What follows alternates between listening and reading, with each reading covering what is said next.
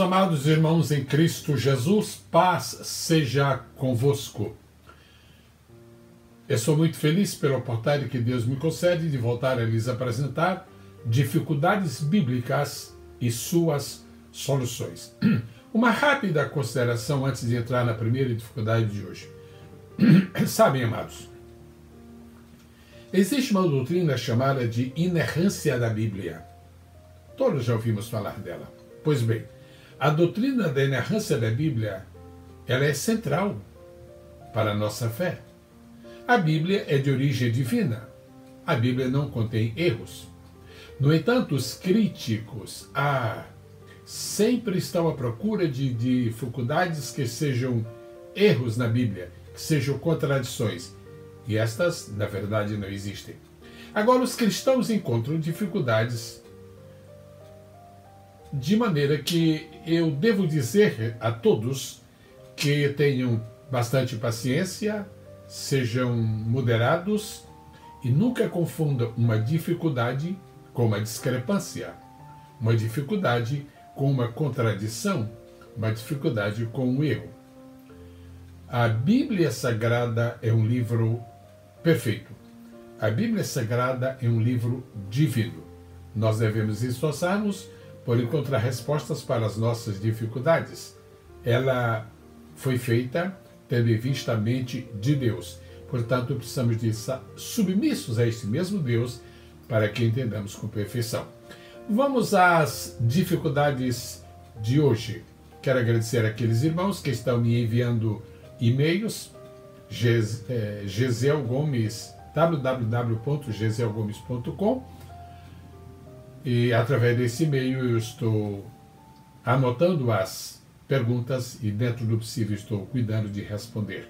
São perguntas que projetam dificuldades que as pessoas têm encontrado. Uma dificuldade, por exemplo, em Jonas capítulo 3, versículo 6, fala de Nínive como tendo um rei, o rei de Nínive. Por que Jonas se refere ao rei da Síria simplesmente como o rei de Nínive. Meus amados irmãos, Jonas, o profeta, ele sabia que Nínive era a capital da Síria. Mas ele chama o rei da Síria como rei de Nínive, porque isto era um costume que eventualmente se usava naquela época. Existem outros casos da própria Bíblia em que o rei de um país é edificado como rei da capital. Por exemplo, no primeiro livro dos reis, no capítulo 21, verso 1, Acabe, que é o rei de Israel, é referido como rei de Samaria. Portanto, o uso desse título por Jonas não é anacrônico. Samaria era a capital do reino e foi assim que foi identificado o rei Acabe. Tampouco esse, esse hábito desautoriza a responsabilidade do escritor do livro, que foi Jonas, de estar relatando uma verdade. Afinal de contas, a capital de um país é parte desse país. Quem é rei do país é rei da capital. Eu passo agora para a pergunta de número 2 de hoje, que é a de número 49 do cômputo geral. Joel capítulo 3, versículo 12. Ali está escrito que Deus se senta para julgar. Mas nós encontramos Isaías capítulo 3, verso 12, que Deus se levanta para julgar. E parece uma dificuldade. Alguém pergunta: Deus se senta ou se levanta para julgar? Bom, o profeta Joel declara que Deus se assentará para julgar todas as nações vizinhas. Isaías diz que Deus se levanta para julgar o povo. Muito fácil de resolver isto. Quando a Bíblia se refere a Deus se levantando ou se sentando, claro, naturalmente ela está usando uma figura de linguagem para um espírito, porque Deus é espírito.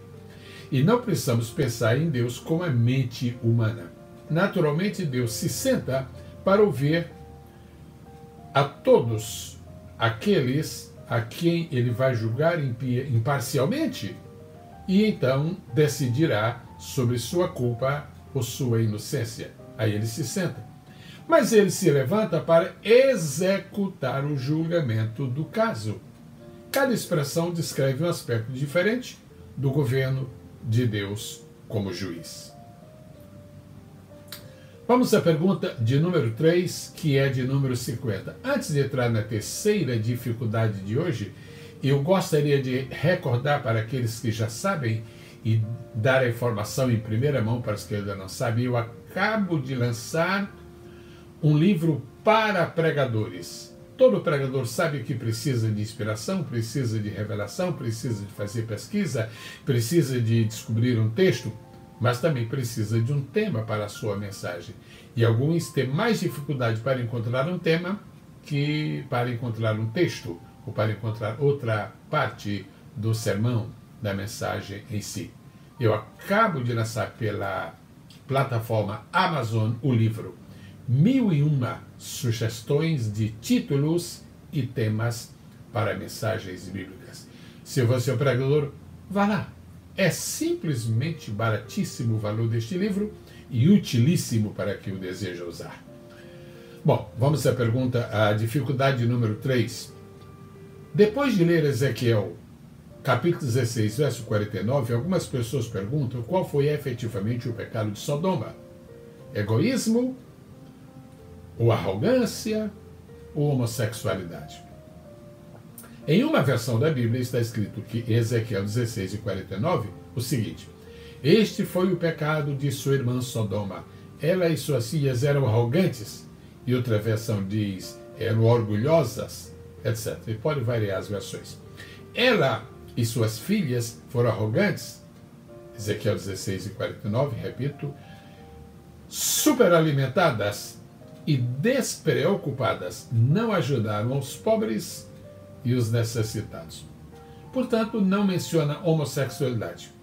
Primeiramente, nunca podemos entender que Ezequiel 16:49 está tratando de apresentar a totalidade dos pecados de Sodoma. Eu penso que a lista seria muito grande se o profeta tivesse que mencionar todos os pecados. Eram muitos e eram muito perversos seus pecados, de maneira que atraíram a a ira de Deus e restaram no terrível julgamento com fogo e enxofre. Aparentemente, os habitantes de Sodoma foram condenados simplesmente porque eram egoístas, eram arrogantes, pensavam somente em si mesmos e não porque sejam homossexuais, porque fossem homossexuais.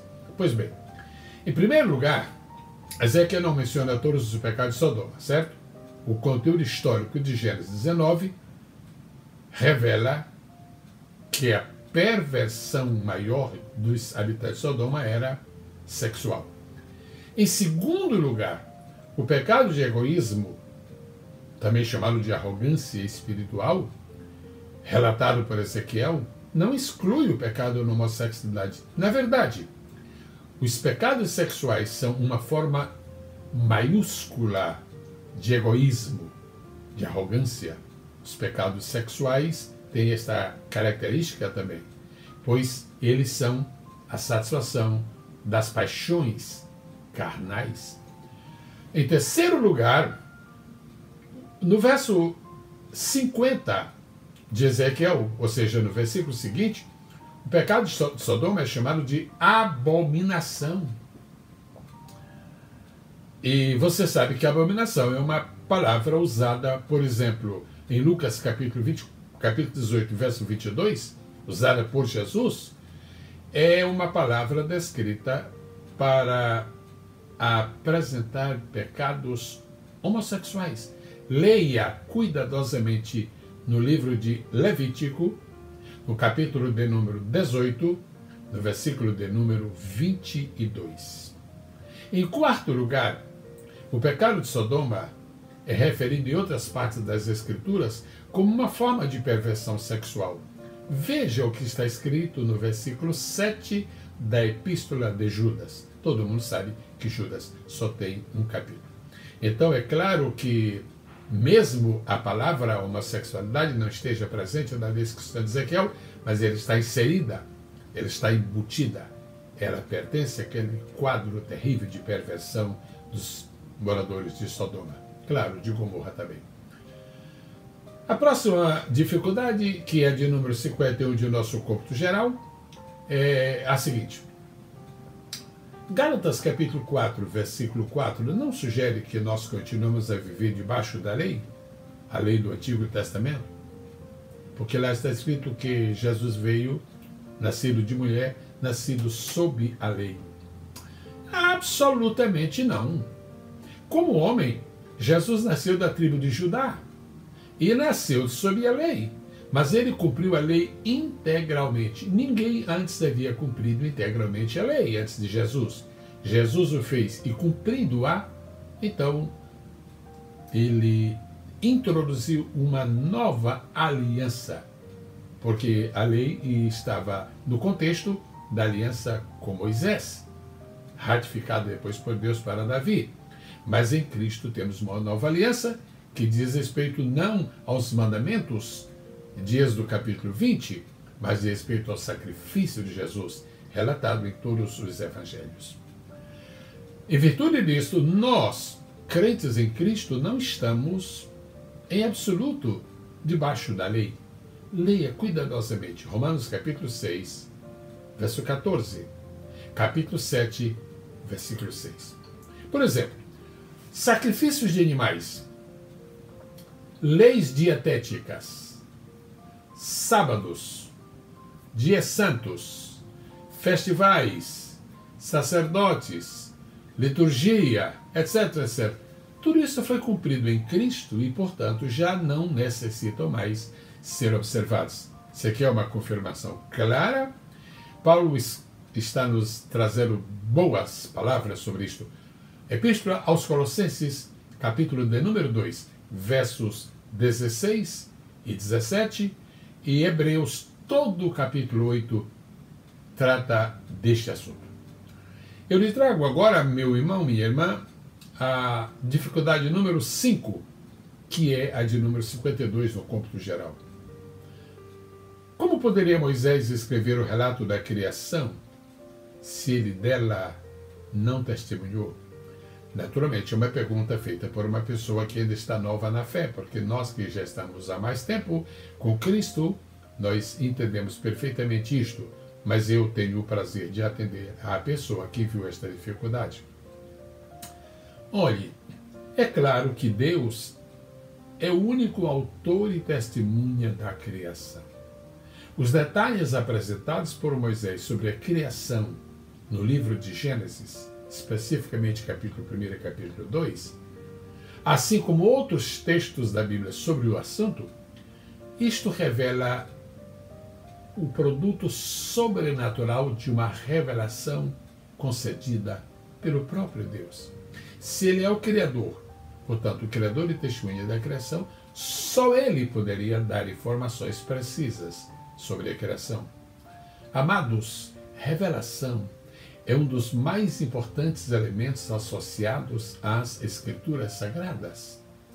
E ela demonstra o aspecto sobrenatural da Bíblia. Deus escolheu alguns homens e revelou a eles o que eles escreveram. E isto passou a nortear a vida de todos quantos leem por fé o texto sagrado.